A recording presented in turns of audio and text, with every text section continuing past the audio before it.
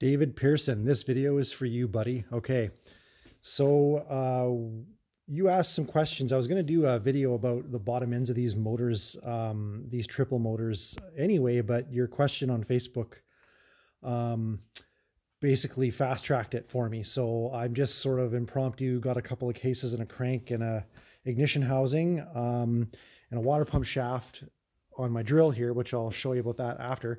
Um, and we'll talk about uh, the bottom ends of these motors, the cranks, um, and also answer your question about um, uh, the best way to deliver oil to the bearing, most likely, and basically the, this outer PTO bearing here, uh, which is usually the problem.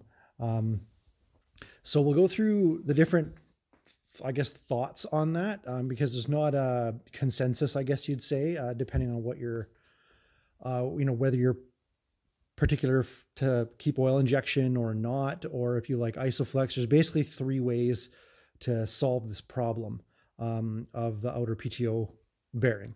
Um, and these are 600 cases, uh, six, yeah, uh, sorry, yeah, 600 cases. And, uh, you know, so they're not 809 cases, but they're basically the same layout. So, so we'll get into, uh, some minor differences on the 809, which there really aren't any. Um, it's just a slightly wider spacing and a slightly longer crank. Um, but anyway, we'll jump into it. So the first thing we'll talk about is uh, the different. There's been a lot of people think there's just two different styles of crank. That there's the CK3 chassis crank, which is longer, and Isoflex, an Isoflexed um, bearing um, on this end so that I would have an extra seal, actually kind of like this crank here. Uh, this is a goofy crank, and we'll talk about it. Uh, it's a really rare one. so, but there's actually been around four different styles of cranks. So working backwards from the newest to the oldest, there's the CK3 um, crank with Isoflex. So it's the normal CK3 crank, a little bit longer than this one. This is an F chassis crank and it has the outer bearing with the seal, no oil hole in the case at all. And this cavity is filled with Isoflex. And that's pretty much par for the course for Skidoo motors now. And um, in fact, the newest Skidoo cranks, almost all the bearings are sealed with Isoflex. There's no oil being delivered to any of the bearings um, unless you're talking about the 850. Uh, anyhow, so this bearing would be Isoflex and all the rest would be would be hit by oil and gas mixture. Um, the next one is the CK3 crank that's non-isoflexed. Now I have a I had an old 98 case um, and crank that uh, the crank was rebuilt, but the case was pretty much just a refurbished one, and uh, I sold those to uh, um, a guy down in uh, in Munising, and um, that case was a was stock with the oil hole and the crank didn't have the uh, the seal, and that is kind of not really super common on the 98s. Uh, that year, roughly 98, 99, that's when they moved to the Isoflex cranks. Um, so that crank was kind of a neat one. Um, the next ones are the 1997s with Isoflex. These ones are rare. That's what this crank is. Um, you can see it's got the the, the locating ring here and the seal right here. Um, this crank is in, from a 1997 Formula 3, um, and the case was was basically mutilated on it, but it had the extra. It was this case, but it had the two extra grooves cut, one for the locating ring and one for the um, one for the seal. So uh, it was a really goofy one. I've never seen that before. Um, I'm not sure if it was a prototype or whatnot. I mean, I got all these parts from a part stock from a friend of mine. Uh, so that crank's kind of neat, and I kept it. Um, I'm going to end up rebuilding uh, one of these motors into a spare motor, but but anyway.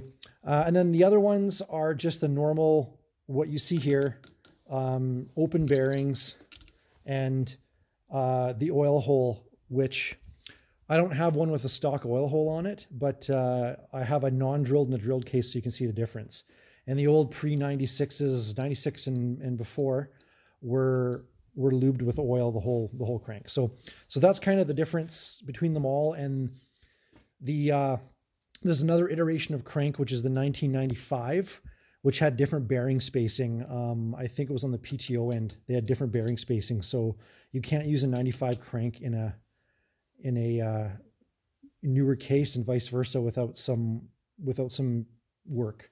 Um, it's a similar story for the Mach Z cranks. Um, I would say almost exactly. Uh, the 780s, you know, use a totally different. They had like tons of seals and stuff in between. It was pretty interesting. Anyway, well, I digress. We'll move off that, and uh, but just kind of interesting history of there's been so many iterations of crankshafts in this, you know, such a short span.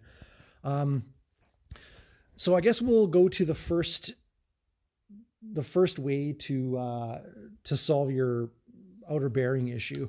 The easiest thing um, that you can do is a lot of people say just either turn your oil pump. So this is a an ignition housing. So make sure your oil pump is adjusted. That's stock. So those two lines line up right there at idle. There you go.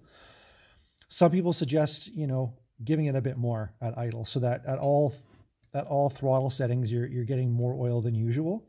Um, and or mixing fuel, you know, making sure that's that's set properly and then mixing a bit of oil in your fuel and running it. And a lot of people um, rather than pull their motor apart, they will run with just a really rich oil mixture um, with no oil hole fix or anything. And some have had fine luck with that. And, uh, um, you know, like I, I, had one of my F3 motors, had 10,000 kilometers on it, had the stock oil pump setting on it and no oil hole, and it was fine. The bearing was actually in good shape. So, so it was kind of hit miss. Uh, the next one is to do that same thing I just told you, is to set your oil pump a bit rich. But if you've got your motor apart, um, drill the oil hole. Now the oil hole, this is one way to do it. Um, I don't understand the thinking with this case and who whoever drilled all these bloody holes in here. It doesn't make any sense. But uh, one way to do the oil hole is is to drill it right here. So there, there's the where the, the inner bearing rides, and here's where the outer bearing rides, and the oil hole would come in between the bearings and effectively dribble oil on this outer bearing.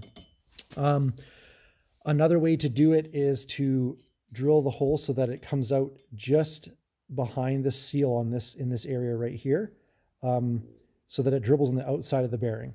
And I'll flip this motor over, or this case over, so you can kind of see what it looks like from the inside. So they drilled the hole right here. So both holes are drilled right there.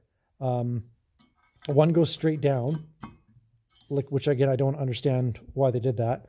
And then, and then there's one drilled at an angle that meets up inside here too. Um, on my sled, I, I actually drilled the hole right there and just went down at an angle and went in between the bearings and and it works just fine. So that's that's another way. That's a common way people people do it. If you want to keep the oil injection, that's a good fix. Um, now, if you want to go premix, this is where things get a bit interesting.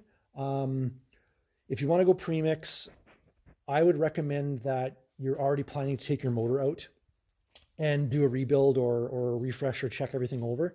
Um, and the first thing that you're going to want to do is you're going to want to pull the oil pump off of the ignition housing, which will require taking taking that bolt off, pulling the gear off, and then taking the the two bolts on the oil pump, one there and one there, and uh, taking the oil pump off, and then get a piece of like aluminum flat aluminum sheet, like an eighth inch thick or three three sixteenth inches thick, and then uh, trace out the pattern and where the bolt holes are, and cut that and grind it, and you know make yourself a block off plate, and then put the gasket with a bit of uh, gasket dressing, and then reattach it with the same the same bolts. Basically, block that all off. Take the oil pump right off. Um, another thing too is then you're also going to take out the intermediate gear, the plastic one, and this gear. So these spaces will be empty. Um, you have two options here. You can just leave it like that. Um, mine is empty and I don't uh, have no ill effects, but a lot of guys who are building racing motors and whatnot will we'll order the uh, stuffer gears from Crankshop. So Crankshop makes like a, a plastic gear that fills in here. And then this one will have two notches out on it. And uh, they just sit in there and uh, take up the space that the gears would normally take up just to give you like fine control over your case volume um, because this counts as part of the case volume um, on the on the um, magneto side. So you can, you can stuffer gears or not doesn't matter. If you're just trail sled, it doesn't really matter. I've I've done plug chops and checked air fuel, and there's no change in my you know between the three cylinders and mine. So so that's fine. Um, the next thing that you're going to want to do is you're going to want to get rid of the oil injectors. So these these guys here, and they're just pressed in. Um, so the easiest way to deal with them is to literally have the case sitting like this, uh, or on its on the reed uh, on the intakes, so you can see the the oil injector there. Um, get a blow a torch and just heat up around here. Not not super hot, just for like a minute. Just move the torch around here. It just breaks the the Loctite seal, and then put your punch on there, and then take a dead blow hammer and just punch the things right out. That's it. That's all you have to do. Not complicated. After you've done that, run a tap through them, an M8. Um, if you want, or I'm not sure if a 1 8 MPT fits in there. It might, it might, but I just uh, drilled mine out and uh, and tapped them to um, an M8 bolt. And all I do is put a sealing, some red Loctite, a sealing washer, and then a hex cap screw, um, similar to that. Not sure it'll focus there. Yeah, anyway, so it's like a hex head cap screw. Um, and I put those in and make sure you get one that doesn't stick out. And then that seals them up for good and you never have to worry about your oil injection again. Uh, just make sure you remember to premix your gas because that, that's the next problem. Um, I'm not sure what happened with this case. This is kind of interesting. The guy drilled oil holes everywhere, um, but I don't see the point of that. It makes no sense because, you know, here's the here's the the open part of the case is right here. So you're getting oil inside these bearings, um, you know, here, here, whoops, here, here. So all those are getting oil already. I don't understand why you'd want to inject oil back here. It's, I mean, you can, it's not going to hurt anything, but it's just a lot of drilling for nothing. Um,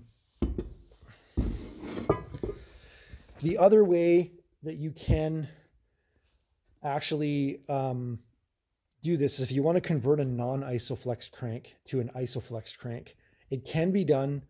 It's not easy, uh, partly because um, you have to put a, you have to cut two you have to machine two grooves in here. You have to take the spacer out, um, and you have to machine a, a, distance ring in here, and you have to machine a, a, groove for the distance ring and a groove for the seal.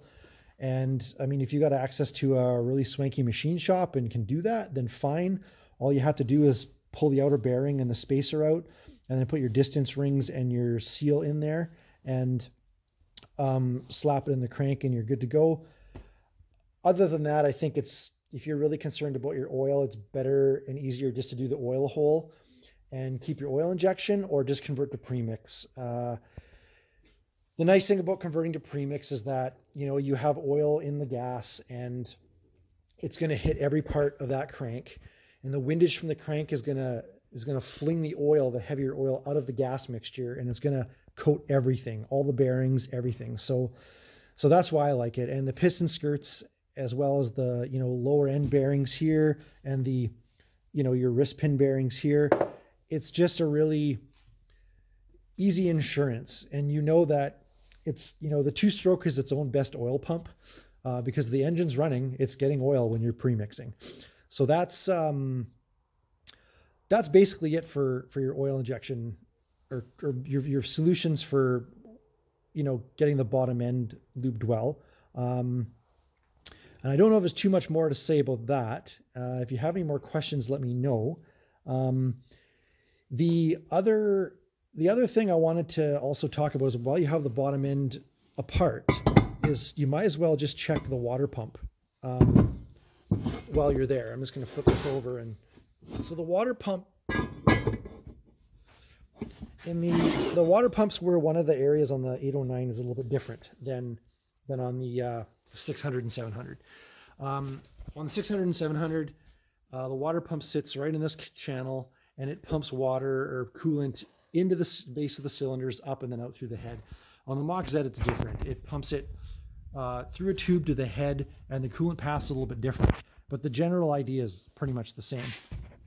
What you want to do is uh, is take that pump cavity off. So you have to take the the um, ignition cover off, and then you have to undo all the bolts and pull the the um, pump cover off, and take the pump and shaft out. And there'll be three seals and two bearings on there, and just remove everything um, off of it. Get the bearings replaced. Get the seal kit done. But there's one thing you're going to have to check, and that is sometimes the shafts have a tendency to, the seals have a tendency to, to mark the shafts. So as you can see, there's a line right there. You can see it right here. So that's where a seal's been riding and it's actually cut into the shaft. Um, so there are ways to, if they're not too deep, you can essentially resurface the shaft. And that's why it's stuck in a drill here. So the, a good thing to do is to just chuck it not too tight because you're chucking the threads. So just chuck it in enough so that you have enough grips to spin it.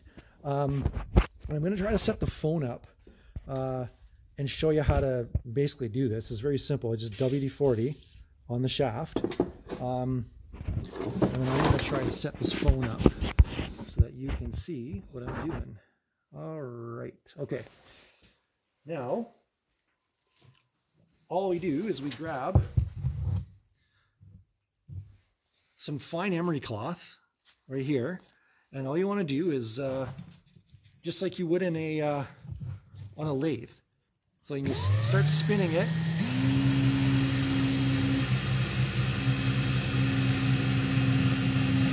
Just work it back and forth.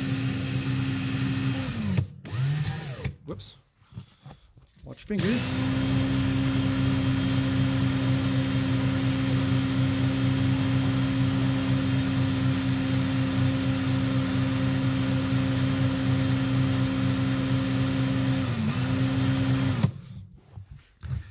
So you do that for a couple minutes anyway, and uh, you'll see the lines start to go away.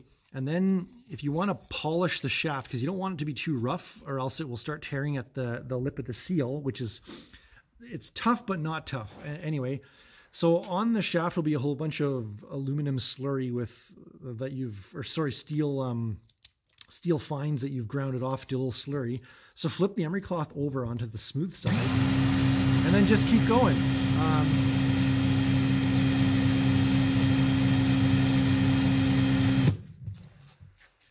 Once you're done,